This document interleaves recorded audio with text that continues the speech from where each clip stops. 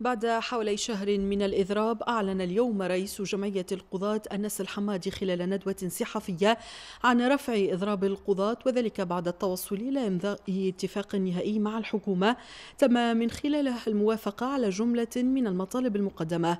يذكر أن إضراب القضاة قد انطلق منذ يوم السادس عشر من نوفمبر الماضي وتواصل إلى غاية اليوم بعد تقديمهم مجموعة من المطالب التشريعية واللوجستية والمادية والاجتماعية ووضع المحاكم من حيث البنية التحتية. في حين سيتم الإعلان عن موقف نقابة القضاة من هذا الاتفاق غدا خلال مؤتمر صحفي.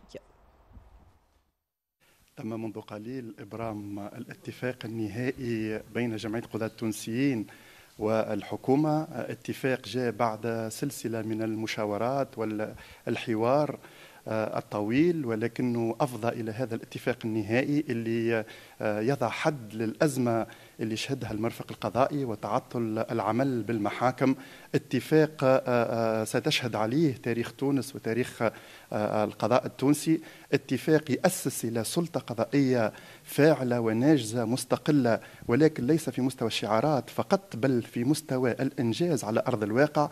يأسس إلى عدالة في خدمة المتقاضين عدالة جيدة يمكن اليوم أن يمثل هذا الاتفاق أرضية صلبة للنهوض بواقع المرفق القضائي اتفاق آه، تاريخي فيه إقرار بالمبادئ والمعايير الدولية لاستقلال القضاء فيه تعهد من قبل الحكومة على تنفيذ هذه المعايير ووضع آليات لتطبيقها على أرض الواقع. آه، آه، اتفاق كذلك يأسس إلى إحاطة صحية بالقضاة ويأسس إلى تنقية المحاكم وحمايتها